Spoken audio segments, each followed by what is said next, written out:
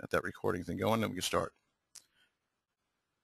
Okay, so again, this is the uh, series that we're calling the Trader's Playbook because what we want to do really here is come up with a few different ways for you to really understand the whole idea of what trigger charts is all about and how you can actually make some money from it. Because a lot of times what we have found is that while there is a pretty easy, basic uh, view of the markets through the market profiles that we put together and the overall way that it's presented. Sometimes when you first look at it, for example, it could be a little overwhelming. But more so, there's a lot of little details that you really want to pay attention to and what you want to see when you're actually looking at these charts because there's a lot of things that we've talked about before. For example, using different time frames, understanding a, an, a, a large and wide range of consolidation from a smaller range of consolidation or when the breakouts occur. And also when do you look at things like okay where do I take the uh, my, my, my profit here or where do I say okay you know what? That's enough. I'm out. So let's take a look at this. Let me make sure this is all looking right here. Okay good so in this session, basically, what we're going to talk about here is this. We're going to talk about the um, a thing that we've we've uh, initiated because a lot of people have asked us for this, and sometimes that's how it really happens. Is that you have a product and the people are saying, you know what, I'd really like to get a much better knowledge of it. So even though we do these webinars and these discussions, what I want to do is introduce you that we are going to have an educational division, if you will, that's going to be doing group and private coaching and of course introducing you to Corey Rosenbloom and a product overview for those of you that maybe haven't seen it before. We're going to be talking about auction market theory today. And auction market theory is the basis of what we're going to be really presenting on a chart because we want to understand, okay, where are the buyers setting up? Where are the sellers setting up? Where is the place where I can initiate a trade? Where is a place where I should either get out of a trade or maybe even add on to a trade? And that goes to the whole idea of crowd psychology and, and the crowd movement in terms of, okay, what's happening? And that's momentum. Are they moving in? Are they moving out? Um, and talking about how the markets do in fact change, although lately it's been all about just let's move it up and hope for the best. And regardless of economics, regardless of the fundamentals, and that does sometimes occur, and that's what the current market environment is. Now, I'll share with you, and I want to make sure I'm very clear about this, it will not always be that way. One day fundamentals will matter, one day economics will matter, one day, well, maybe not one day, maybe sometime in the future, God knows when, the Fed will be out of the market uh, process because really what you're trading against right now is the Fed we talk about supply and demand, and that's the basic tenant of the markets in terms of when people are looking to buy something, how many people are buying it, what is the volume and the amount of uh, um, excitement they have with it. And basically the thing that we always talk about is the two phases of the market. You have one phase, which is a consolidation, which is kind of just it's cruising along doing its thing, and one is where we want to actually enter trades which is breakouts or fast zones. And I think the last thing that we really want to focus in today is thinking outside of the traditional theory of what is an indicator and what do they do? You know, are they just going to show us, okay, the trend is moving in a different direction and hop on? Or are they going to give us a range of where we could play? Or better yet, many people say, you know what, it shows that it has these things lining up, but how can I really tell what to do here? And that's what these have all been designed to do, is to help you understand, you know, what to do in, in the different um, uh, situations. All right, so let me tell you a little bit about Corey Rosenbloom for a moment. He's a, an expert in the area of technical analysis. And technical analysis essentially is the study of charts, okay?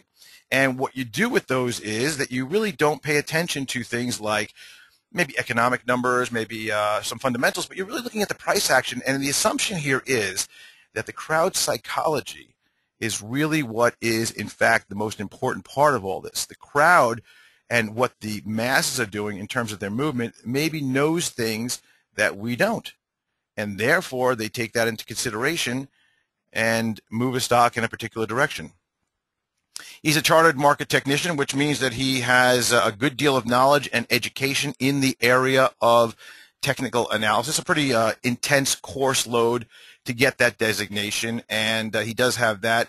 And basically, this particular um, uh, this designation is a very um, focused but yet diverse uh, process where there is the use of all these technical indicators. But if you go back and look at Corey's history, I mean, he started out working with um, his dad and doing a lot of fundamental work, and then sort of moved into this whole area of uh, technical analysis and really became a, a, a, just an expert in that area.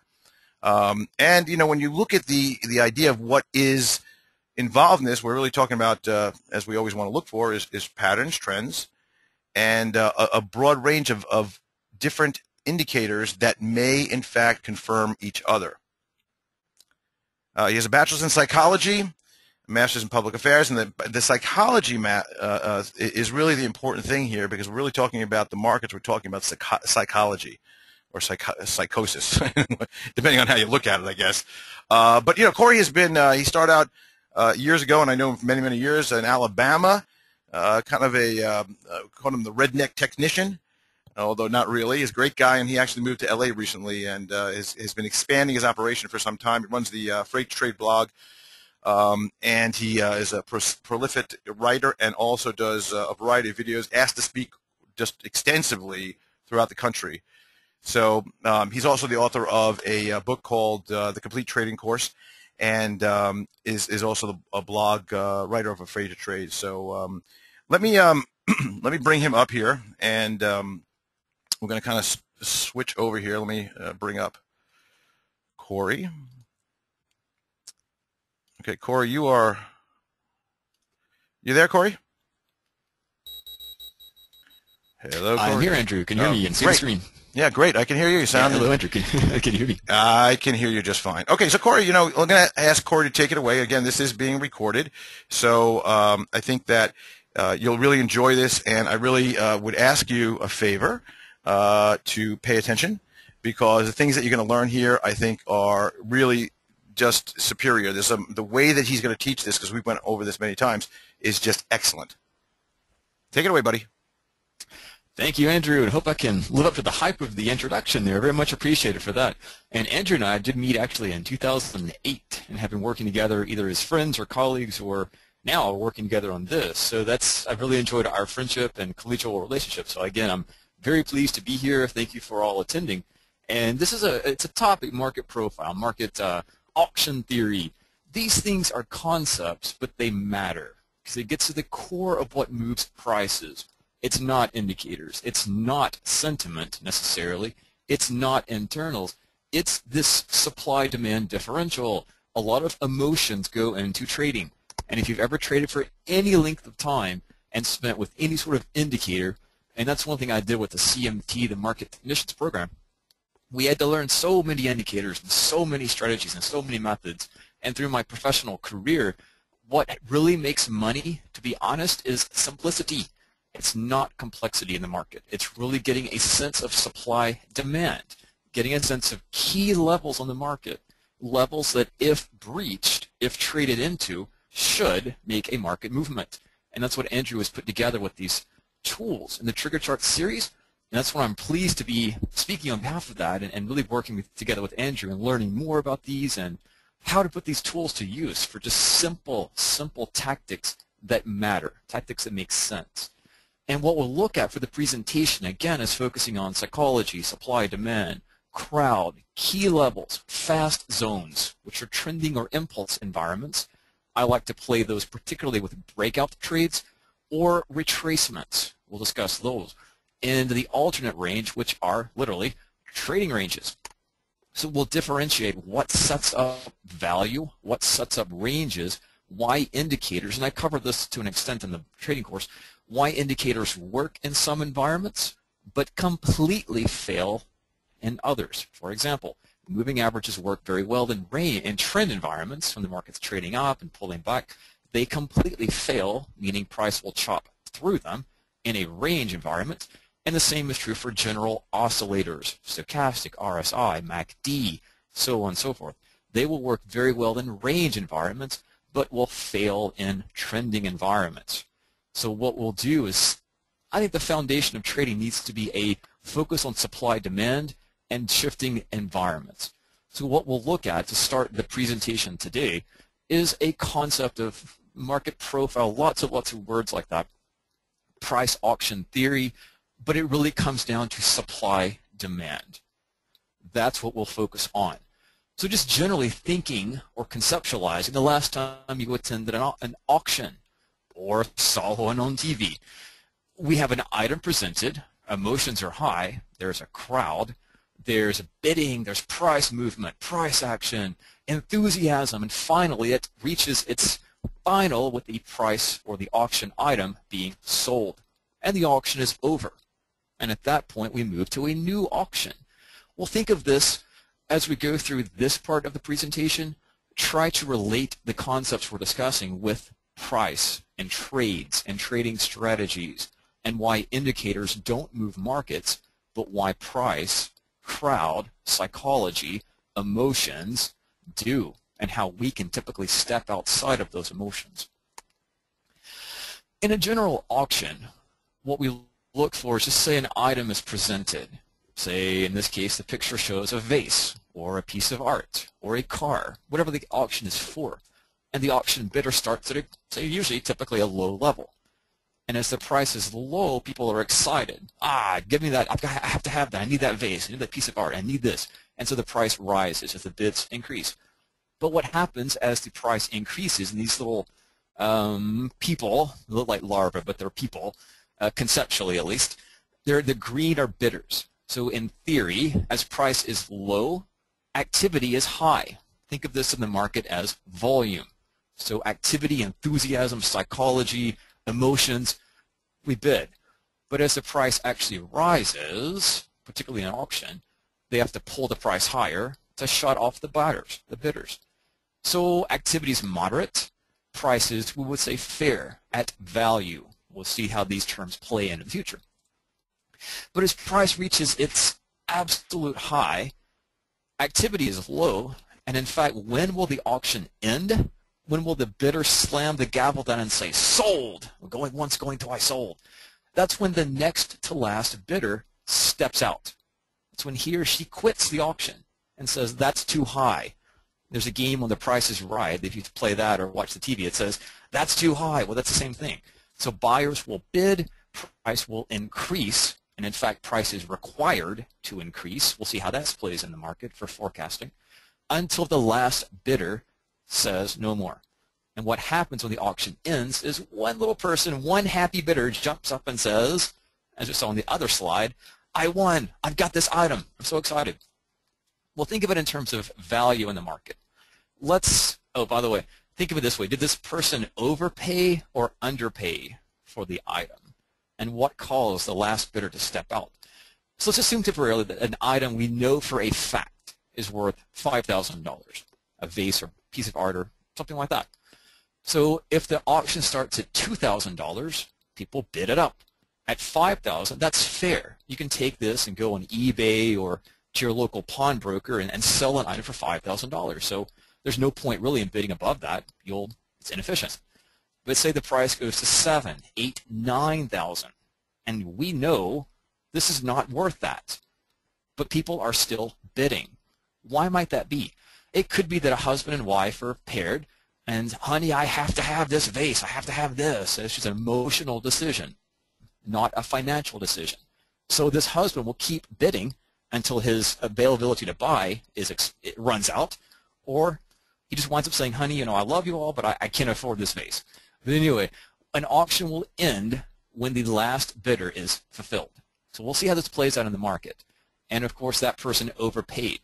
In the stock market, we'll see, just for references, if the main ideas as we look at the price charts next, low prices encourage bidding. Low prices typically encourage activity. Higher prices discourage bidding. It gets expensive, too high. And so these things are forecasting variables if we put them in market terms. So price must is required. That's a forecasting principle.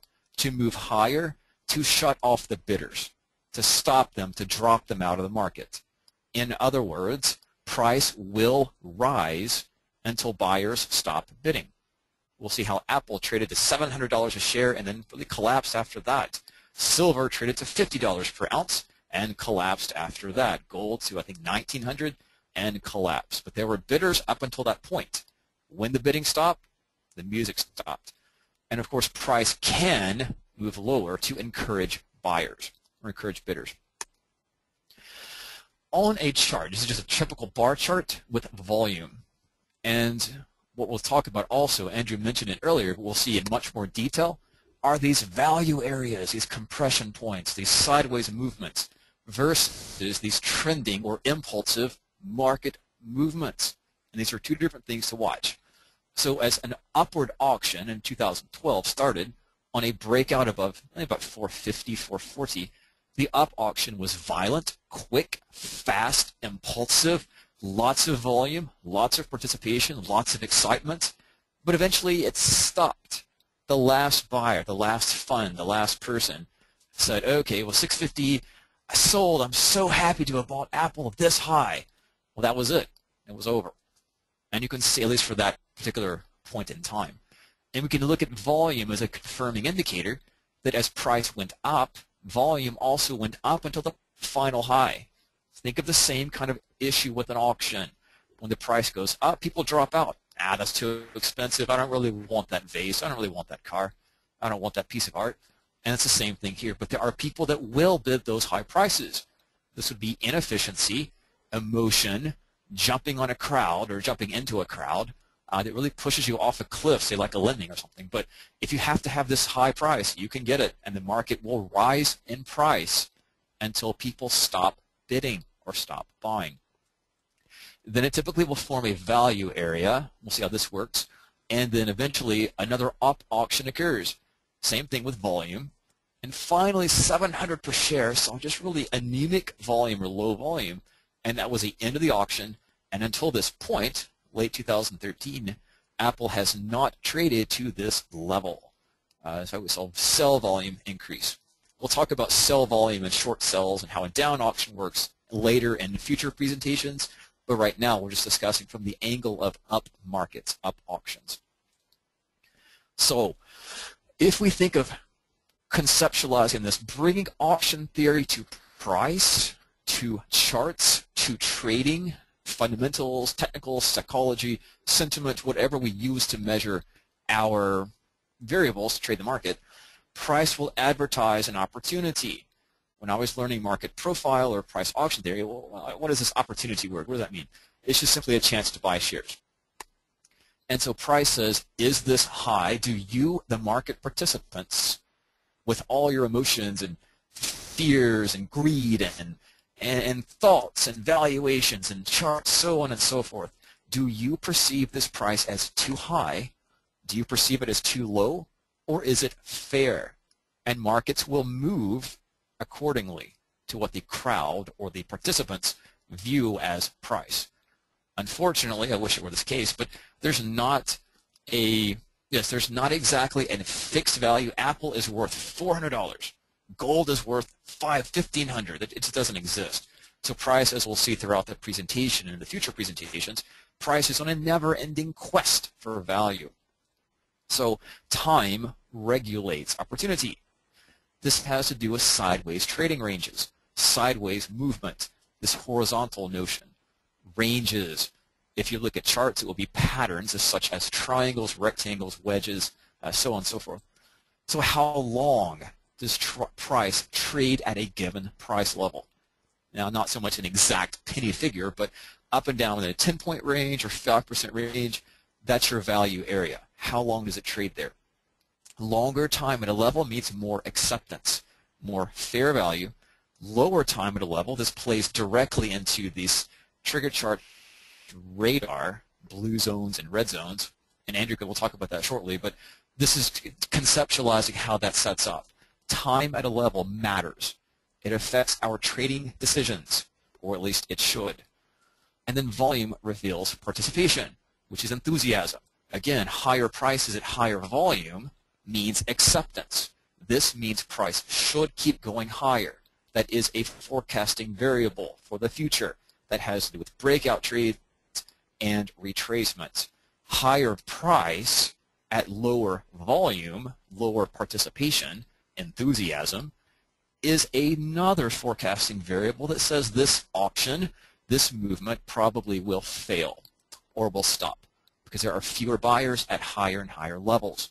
Even though crowd psychology might represent or reflect extremes. In other words, I'm very, very bullish at the high. Apple at 700, the S&P shy of 1800, gold at 1900. I'm extraordinarily bullish. I have all the shares that I want. And that's it. There's nobody left to buy. In some sense, literally. And the market has nothing else to do. It can do nothing else but go down.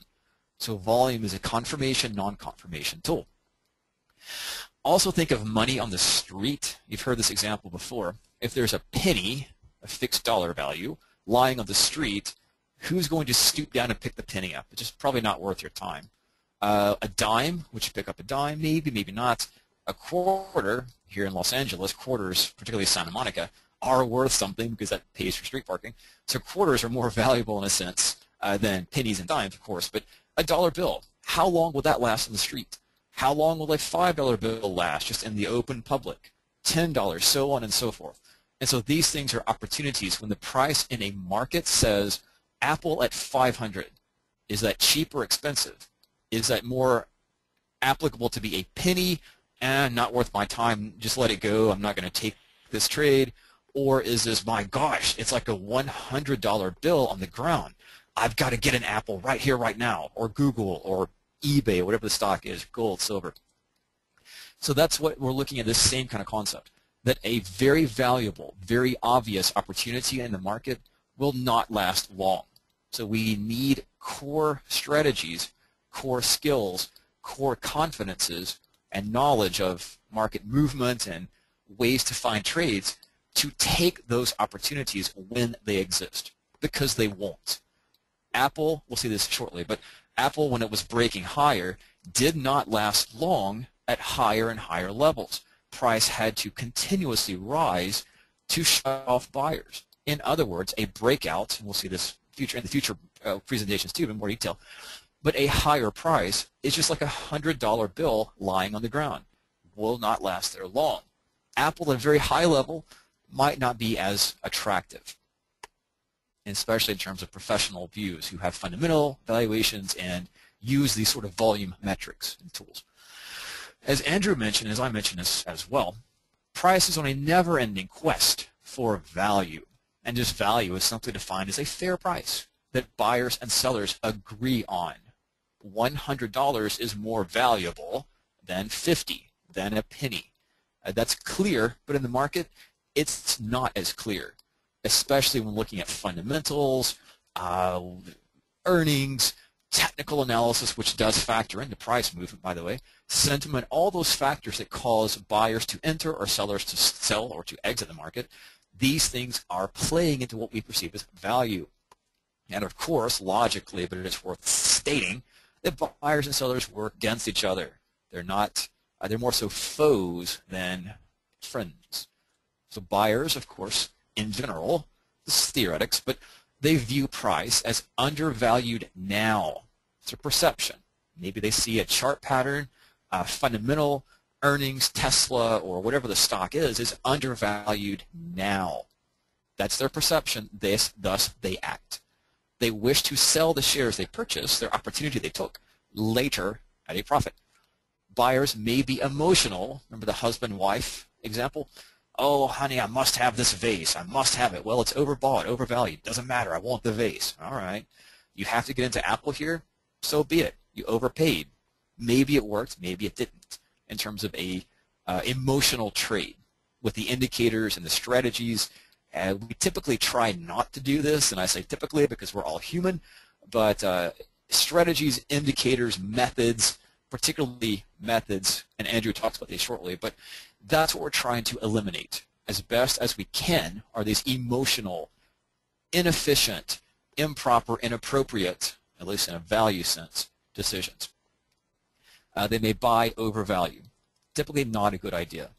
Sellers similarly view prices overvalued at this exact point, it may be the exact point in time, and they'll take profits, or they'll put on a short sell position. They may be emotional. How many times have we all had this happen? You put a trade on, the value goes down.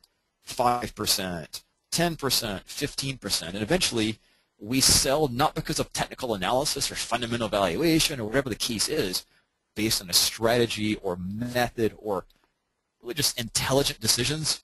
We make it based on emotion, pain, and that's not a good thing. So one thing that helps, especially these value areas and these trigger chart indicators that can show you where you should sell doesn't mean you have to sell, but ideally, if a certain level breaks, let's go ahead and kill the position. Exit, bail, not hold that position, hoping and praying that it comes back. That's really inefficient trading and very expensive trading for that matter. So stop losses also trigger selling, both in a good sense, of, oh, it was just a random trade that failed, no problem, no emotion, or just, I can't take the pain. So that's just, again, emotion versus strategy discretion versus system, facts versus really just pain and feeling. So this is how we try to eliminate those as much as possible in our trading, but also take advantage of inefficiencies or one side of the market being squeezed. One thing I like to trade, Andrew probably would agree, are these pain points or short squeezes. I call them popped stops, particularly when a market breaks a resistance level that it should not break and just impulses violently higher. As a buyer, that's a good thing because a short sell, short side of the market are being squeezed. They're capitulating, they're exiting, which propels price higher. And of course, if we're in the bullish trade, money into our trading account. That's really the goal of trading anyway. Now, just this value area concept. Same kind of issue. Won't spend too much time on this. We go into more detail, but there's always a midpoint value area. There's always an undervalued or oversold, whatever you wish to call it, level, support line, an overvalued or expensive, so on. And so that's how traders make decisions as to put trades on, to limit risk, to place stop losses, and we do that also with indicators too. But one thing to watch, showing this thematically throughout the presentation, is that trend lines are subjective. It's imprecise. Does a trend line go at 420? What about 350? And to be honest, I have problems with this too when doing analysis. Um, I like to connect as many points as possible, but even still, that's subjective. So uh, Andrew might draw them differently. These indicators show how this can be done or how, can, how this can be eliminated and cut some of the guesswork and subjectiveness out of value areas. That's what indicators are designed to do. So this is a general thinking on ranges. But the same kind of issue, this is Apple back in 2012, we see a clear value area, 390 thereabout, 410 and 360. These were overbought. That was an emotional or a spike high, uh, unfair high. Person overpaid for that, and the auction traded lower. The same thing happened early in January 2012. Then Apple gaps to 450. Ah, what do we do? Is this overvalued? Is it undervalued? Well, that's what the market participants are having to deal with individually. So what we're looking to do is have a more precise level for initiations of trades, stops. If you're short, of course, having a stop above these trend lines, that's what we're looking to do. But once again, this is confusing. This is impulsive. This is emotional in some senses. What do I do? Do I put a trade on? Do I wait? So on and so forth. This is what we call inefficiency or breakout. This is the core of strategies, but we don't know as market participants whether this will just be a failure or a breakout. So uh, the strategies that Andrew talks about really delves in more detail for that. We can look at volume, but the indicators incorporate that for us. As we saw, if you remember what happened next in Apple, this was our, let's go back in time, oh, this is overbought, really, really overbought, really, really inefficient, way higher than it should be. So next slide is what happened next. This up auction. At this point, the supply-demand issue or balance changed. The market went from balanced or sideways, horizontal, slow range dynamics to this violent, fast, open air. I like to use the word open air pocket. There's just nothing else there. It's a price auction higher. Remember the forecasting predictive value. A market trending up with higher volume, higher enthusiasm, tends more than not to trade even higher. Why? The market has to pull the price higher to shut off those buyers. When buyers overcome sellers, price must rise, just in the same way that that auctioneer, give me 450, give me 470, 475. Do I hear five? I do. Okay, nice. 525. Do I hear? five? Okay, 550, 556, so on and so forth. Eventually, the volume, the participation will decrease, and the up auction will end. But there were plenty of opportunities to add to positions, buy on breakouts, and there were additional breakouts and additional smaller value areas that occurred. Uh, retracements, flag patterns, as this up auction continued. And it continued indefinitely with higher and higher volume, at least until it ended, until the last buyer in that audience. Remember, trading is a fixed arena. There are a fixed number of people. It's not infinite. There's a fixed amount of dollars. So when a price gets too high, same thing as price is right, that's too high, it has to come down. There's just no one left to bid the thing higher. So in, in a collective sense. So Apple traded lower and established its second value area. So that's what we'll be looking at. Value, quest for value, impulse. We'll define these things shortly and in much more detail. So as Andrew hinted, these two types of market phases tend to be sideways, which is the most of the trading time. That makes sense. That's efficient behavior. We know the range, fair value, and of course, a market exists to facilitate trade. So just think of theoretically what a market exists for to facilitate traders, buyers, sellers, bring them together and transact. That's why the market tends more than not to spend more time within these fair value ranges. This will lead us to play fade trades, as we'll see in the next couple of slides. But these are sideways trading ranges. In terms of definition, if you'll write these down and reference these, we'll use them frequently, that what we'll see is buyers and sellers agree. Price action is efficient. Price movement is slow. In other words, you can take your time. You don't have to worry about, oh my gosh, I missed the trade, I'm out, I'm that's the end of my trading career, da, da, da. all these emotions don't exist to the same extent that they do in breakout or impulsive environments. We also see clear boundaries, support resistance, and that's just simply drawing trend lines. Again, subjective.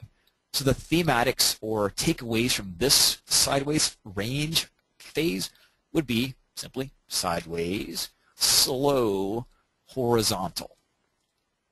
The exact opposite of that, which is inefficient or breakout or these trends. We as traders like to trade trends. What we don't realize a lot of times is that trends are actually inefficient. It is throwing traders off their base, and it's really difficult to find what's cheap, expensive, and in fact, those words don't actually exist. Uh, again, Apple at 400 was cheap when it was trading in a range, but at 450 actually is, in terms of the trend in the future, cheap relative to a future value area. So that's we'll see that happen in other examples too. But these we like to refer as fast zones, impulsive, trending patterns, flags, breakouts, all those fun little patterns on the chart, or just uh, impulsive environments. We also call these positive feedback loops, where higher prices beget higher prices as more bulls get excited, more buyers step in, add to positions perhaps, but also short sellers who are on the other side of trades think the market's overvalued, they actually have to stop out. Their stop losses help to propel a market even higher. So that's another factor in the supply-demand relationship too. The other side being stopped out. So it's just the exact opposite. Price is inefficient. There's disagreement. There's heightened emotions, confusion. Oh, if I buy now, this is a top it's going to reverse. Oh, so I'm going to stay out, and, and of course the market goes even higher, making you even more frustrated as a trader. That's no fun. Price movement is fast, quick, rapid, impulsive, violent, volatile. Price shows no boundaries. It's a breakout. So the words we'll use to classify this is vertical, fast, trend. And again, going back to our initial concept, price will, in fact, price must, just by definition, auction higher, must move higher as long as there are buyers wishing to buy, purchase shares. It's a fact of trading. So price goes up to shut them off. Once they're in a position, they're no longer buyers. They are holders. They are not adding positions typically. So that's what price must go higher to shut off the buyers. And it will go higher until the last fund, the last trader, the last group of traders are finished. And the sellers overtake buyers in the relationship. And that tends to devolve into a trading range. Now this is the radar, altimeter, and auto, autopilot with eBay. I know I showed, showed the uh, example of Apple uh, multiple times. And then triggercharts.com, and Andrew will talk, talk about it shortly, but and this is not my, my uh, indicators, it's Andrew's of course, but I'm just doing the conceptual framework for this presentation. Andrew goes into much more detail about what these colors mean and how this uh, affects trading decisions. This is what we'll talk about in the coaching sessions, the group sessions too. But in general, this is our two phases of movement. Horizontal, slow range, April through October, really 2011. There was an initial breakout, $32 per share, and above the prior high, 35 per share, as eBay auctioned higher and formed little value areas, but it traded all the way up to 55, 60, at which point a secondary value area occurred, which still occurs, by the way, to this day. And uh, eBay just inflected, I saw it this morning, inflected strongly up off the support level, and that was a trade, at least an initial trade for short for uh, short-term swing trading parameters. We'll see that shortly, but this is the same kind of concept.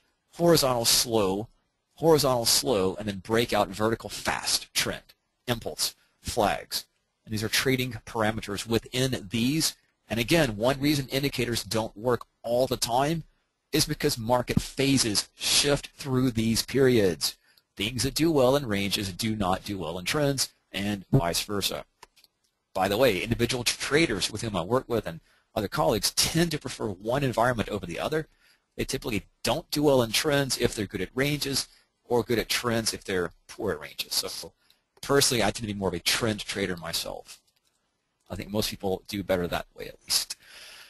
So almost uh, to the conclusion, but this is how you trade. So theoretics is one thing, theoretics is fun, academics is entertaining, but let's actually figure out how to put this into practice with real trades. Targets, entries, stops. That's really what we're doing with any kind of strategy, is a target, entry, stop, and then of course management. Psychology only serves for the most part to get in the way uh, especially if your last couple of trades were losing trades, you might not take this next one, so on and so forth. But, but it's why system trading or strategy trading or these types of methods tend to do what better, at least for eliminating discretion, at least eliminating uh, subjectivity and tending towards more objectivity, factual basis, as in the prices either at support or it's not. Price is either breaking out with higher volume or it's not. These are factual uh, basis with which to put trades on and, of course, stop losses. Generally, in a consolidation pattern, we wish to play within the range. Playing into support, which for this purpose of this presentation, again, we'll focus mostly on the buy activities. Just for most traders tend to prefer buys to short sells, which if you're new to the trading environment. So that's your initial strategy is to buy into a support line and or if you're more aggressive or experienced, short sell into a resistance line. And of course placing stops beyond the appropriate trend line because price could, and in fact profile will tell us that, will actually in the future break free of this value area. Could be an earnings announcement, could be the CEO resigned, could be something else, whatever the case is. Perception of value will change and the stock will either break and trend higher in a new uh, in a new up auction or will actually break lower into a down auction. We don't cover that today, but we'll discuss down auctions and how they're quite different actually from up auctions. That's the general strategies, these quick, quick, quick top-level strategies for ranges. For trending vertical strategies, we typically wish to join into the supply-demand imbalance, enter on breakouts of a trading range. Now, of course, there's traps. We need to find uh, strategies that help us differentiate as best as possible a trap versus a breakout. And we see that's multiply, or, uh, multiple times difficult, at least from subjective senses, especially if you're accustomed to trading in this fade or this range zone and the market breaks into a trend. That can be quite difficult.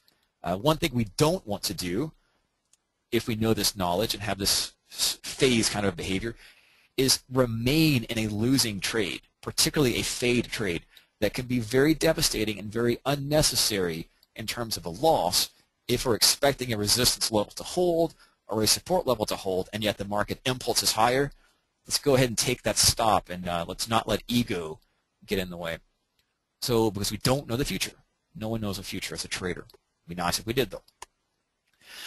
But we wish to enter on a breakout, hold as long as possible if the market's breaking to new highs. Very important. It's a very different environment.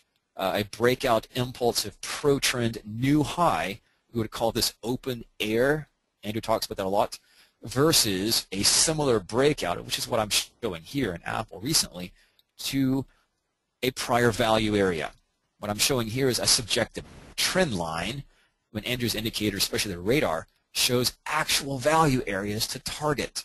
I've been really interested in that. I'm really excited about that. It just shows a different way of conceptualizing market behavior and targeting and stops. So that's typically the course of action. When a market breaks a trend line or breaks free of this trading range, it typically will trade up into a prior value area. I think Andrew said many times when in chart to figure out the target, now look backwards to prior target areas. That's where participation was, value was accepted there, and more than not, that's where price is headed. So this is another sort of a zoomed in view of Apple. This is recently. So the initial break, this R stands for return, a return to trend line, a return to value. So initially break, oh, that's a trap. That's an initial break, so on. And in July, August, September, October, we have the breakout circled at 450 that returned to the prior area. A secondary breakout, secondary trade, we will call this a bull flag, but it's also a break free from a short-term value area that went right back into the pocket or the value area near 435. That's where Apple traded actually traded down from. Trend lines are subjective. This is the exact same chart. Start with the left and move to the right. This is the setting up the trade chart. And also just reminding us one more time about fast vertical movement versus sideways horizontal range movement. Markets tend to oscillate between them. So if we're planning out the future, now we say we don't know the future, it's middle of 2013, Apple is in this trading range, Apple is forming value. These yellow lines reflect price and volume nodes, or that's an indicator special to do that. And these blue zones represent areas where volume and price have actually not traded or traded very thinly. And that's areas that could propel breakouts, particularly away from a value area through a blue zone or blue radar toward a prior value area as indicated by the radar. And that's what happened. So it's the same chart that I showed in terms of a classical technical analysis or classical candle chart that Apple impulsed from 440 all the way to this prior value area. And in fact traded one more time to the upside, to this uh, higher level. So that's in general quick example. We can show many, many, many more examples of this, but not in the time frame with all that we're covering today. So in limitation, we'll turn back to Andrew shortly, but this is the summation of what we talked about. So what we need to know here, and this is just me being a trader for like 2003 is when I got involved in technical analysis, and I've been through as many indicators, seminars, books, and, and so on and so forth. But these are concepts that I, when I work with traders as a, as a coach or just as talking with, even with Andrew as colleagues, uh, we always simply come up with certain things that just really just uh, not annoy us, but bother us with charts. And one of those is, okay, okay, it's great, trend lines are clear if I look backwards in hindsight, but what happens now? What do I do? If something happens, then what next? I like to think of trading as if-thens. If price breaks free from, free from a value area, then where might it go? And of course, if I'm playing in a value area, if price is up at resistance or down at support, where do I place my stop? So that's that's market movement, and that's talking about the future, planning out the future. Entries and stops and targets are based upon what's happening now. Now, which indicator do we use? I had this problem so many times, especially in my newer in my career. There's just too many, and you hear analysis paralysis or indicator paralysis. Very common with new traders and for intermediate traders as well. Uh, this chart of Google just shows popular indicators, stochastic, MACD, parabolic SAR, moving averages, Bollinger Bands, and it's just a jumbled mess, at least in the traditional sense. So just too many. So I have problems figuring out where the buy orders are, where the sells are, and oh, these stochastics that worked really well to buy, sell, buy, sell in a range don't work well at all in a trend. These moving averages that work well for pullbacks and flags in a trend don't work at all, price chops up and down through them, in a trading range. So even if you get an indicator signal, even if you understand the indicator signal, it can be sometimes difficult to conceptualize the target and uh, where to place your stop. You need price itself. Really can't look at, oh, here's a Bollinger touch or whatever the indicator you're using is, SAR, etc. A parabolic stop and reverse is what that color bar is. So it's difficult, at least in a general sense, with a single or combination of indicators to, to get trigger entries, which that's actually easy, but actually get stops and targets.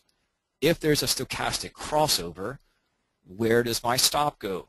And in fact, in a trending environment, the stochastic, MACD, RSI oscillators will become overbought and they'll stay overbought, uh, leading to significant losses if you just took that pure trade. And of course, even if you understand, and it's easy to get lots of educational examples, and there's plenty of education. I teach education, even if you understand it, uh, why should price move? What's the impetus? What's the reason? And if you conceptualize in terms of supply demand, buyer sellers, value, expansion, fast, slow, horizontal, vertical, all these concepts that Andrew talks about and these indicators help us to reveal in the charts.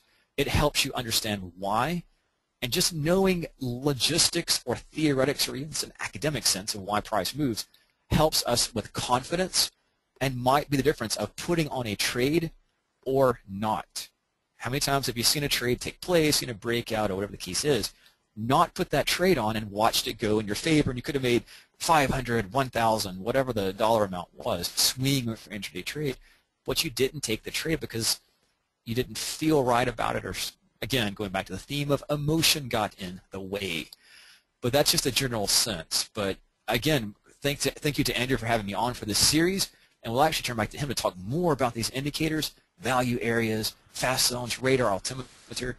And uh, thank you for attending. And I will be here to answer any questions. We'll turn back to Andrew.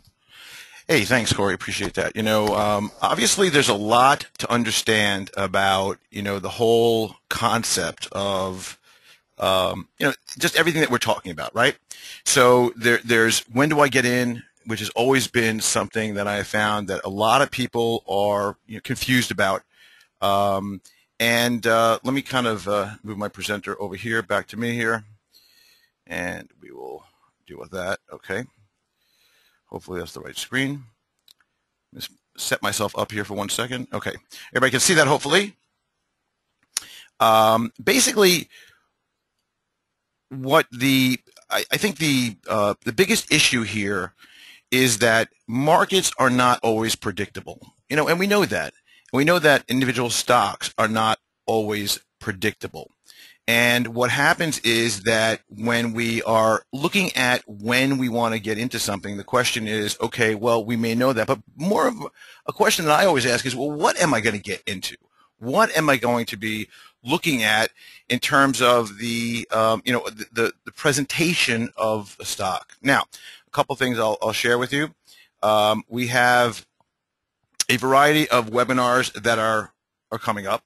Um, we have uh, totally different from what we're talking about here is the key reversal indicator. We're going to go over in depth and talk about that again. Hopefully, you've had the opportunity over at TradeStation to get your uh, your copy of the uh, trial at least. If nothing else, it's very inexpensive, and I would really strongly suggest that you utilize that because it gives a really good level of um, overall uh, a feel of the markets, and in in in addition to that, it also helps you with understanding where the trend is and how incredibly overdone or if it's you know continuing.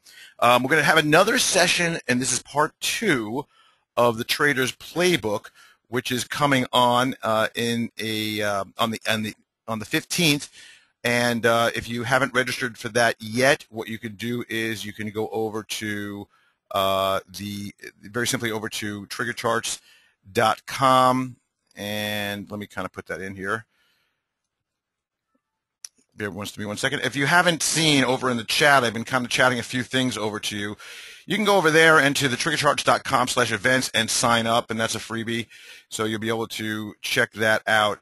Um, the one that thing that I want to bring up to you that's very important is this, that you know what, if you're serious about making money, if you're really serious about bettering your trading, one of the ways that I've done it and uh, people that I know have done it is to very simply go over and you uh, will go over to someone who knows what they're doing, who has experience in the area, and basically you will find that they will help you through the process. And even though it costs a few bucks in order to do so, listen, it's well worth it. So, you know, I'm going to tell you that we have the advanced coursework uh, with Corey. There's three group sessions beginning the 19th, and I really want to see you there. I think it's it's um, uh, very important. Somebody's mentioning there's no event on the 15th. I'll take a look at that. Maybe it's this is the next webinar. Uh, it should be up there. If not, I'll get it up there. It should have been up there, but we'll make sure it's up there. Who was that? Will. Um, and we'll we'll send you an email that everybody was that was attending here. Uh, but you could, you know, you, it, it, may cost a little bit of money, but it makes sense. And one of the things that we're doing to make it a little bit easier for you is we're actually covering the cost of the Commander Series for an entire month. So you're really only paying a few bucks if you think about it. Click that. I just put that through right now.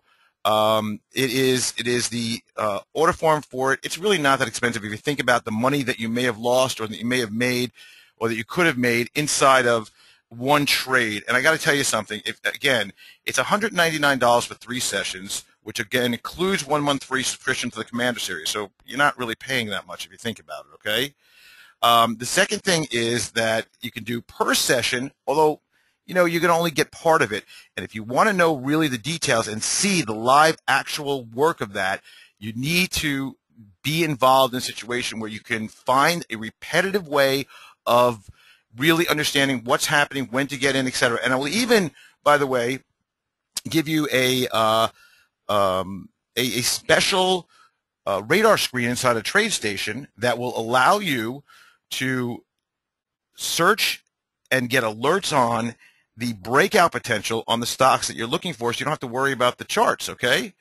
Um, yeah, William, uh, we will on the uh, the three sessions, the conflict in the sessions, that, that's a problem. Yeah, we'll have other ones in the future.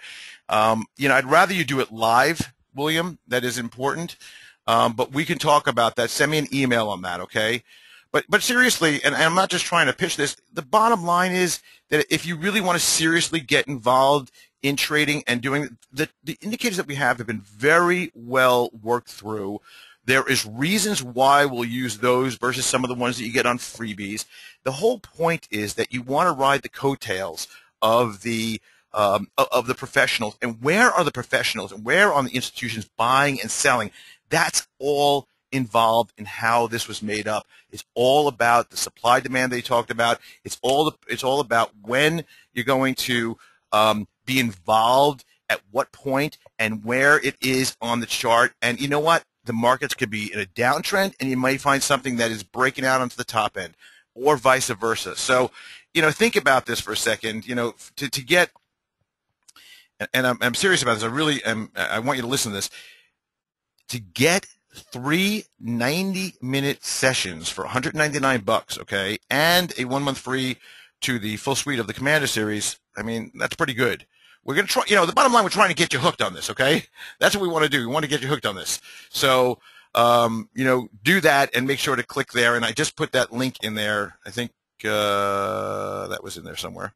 So just look in the, um, the, the messages right there. And we're going to go through a very detailed discussion of all of this inside of there, okay? Let me go back to this one second and end this up. There's also one-on-one coaching. Now, this is something, if you really want to get some power and you want to understand your particular circumstance and how you trade and get an analysis of that, and then you want to further your trading, now we're talking a little bit different. Now we're talking about one-on-one coaching and analysis and uh, recommendation in terms of what you should be looking for and really how to use things, an in-depth look at what's happening so that you will be able to scan a chart like I do. You just scan a chart and you can kind of see what's happening. Now, it may or may not do what you want it to do. It may not actually become a, a uh, profitable trade, but you know what? You can work on limiting losses or maybe even uh, looking for other things that aren't um, particularly what you're looking at because so many people get caught up in one particular stock or one particular trade. So um, we're going to turn over to Corey for a second. Um, the other thing that I want to mention here, this is really important. This is this is I want you to pay attention right now. This is really important. That you can actually have the education and you can have the uh, indicators paid for by TradeStation. We have a pretty good amount of money per person. Now, all you have to do is basically have a new account open with them. So if you have a current account, you can open up a new one, and we put a special credit on there if you are involved in these courses or have the indicators. And what you get is up to a $3,000 rebate on all your transaction costs, and up to the point of uh, where you're going to get um, $3,000, and we can actually increase that up to $5,000. So if you are interested in the private lessons, you know, the one-on-ones, think about that for a second. You can get a bunch of those and have TradeStation essentially give you a rebate program to get that paid for. And then also, if you have any trouble with installing, sometimes there's a little installation issue. How do I actually get this stuff? We have some uh, ways of doing this. Just put a contact us, to, you know, send it to us, and we'll help you along with that. It's pretty easy to do, um, but we'll get that for you. Uh, let's take a couple quick questions. Um, Corey, you still with us? Oh, Corey. I am here. So okay, good. Any questions? Don't you? I am here. Okay, just type in some questions. We have about five minutes left for some questions, or a few minutes left for some questions. I got a few that I answered already on the side, um, but you can just set it into the question area uh, in the chat, and we will uh, give you uh, our best ability to answer them. So anything you want.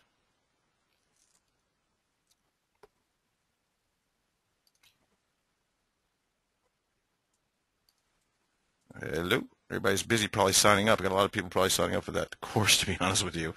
Um, the uh, the other thing I want to mention just real quickly, and um, I did get a lot of questions I answered on the side, so maybe that was the what happened there. Um, but you know, we will be available, and on the 15th, I believe it is, and if it's not in the uh, in the in the events area right now, we will in fact get that for you. Uh, we will give you uh, an email about that.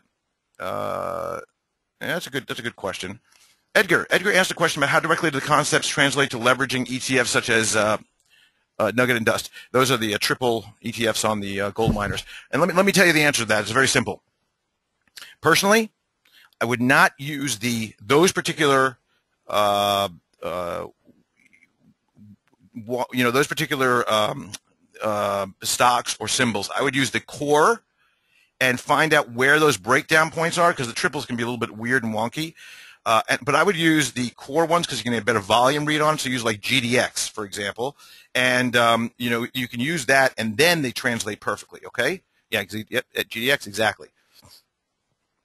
Why do you not have an oscillator? Um, we actually are working on an oscillator that we have. We have an oscillator we've built over time, um, and as a matter of fact, it's a fantastic oscillator. It, it, it combines um, some of the ones that you probably used to, at least in theory, and we put a lot more into it to make it kind of like a, a super powered oscillator, where you have a uh, the ability to um, you know all in one, and we call it the T score, the technical score, that will give you a, a readout of the score, and that's coming very soon.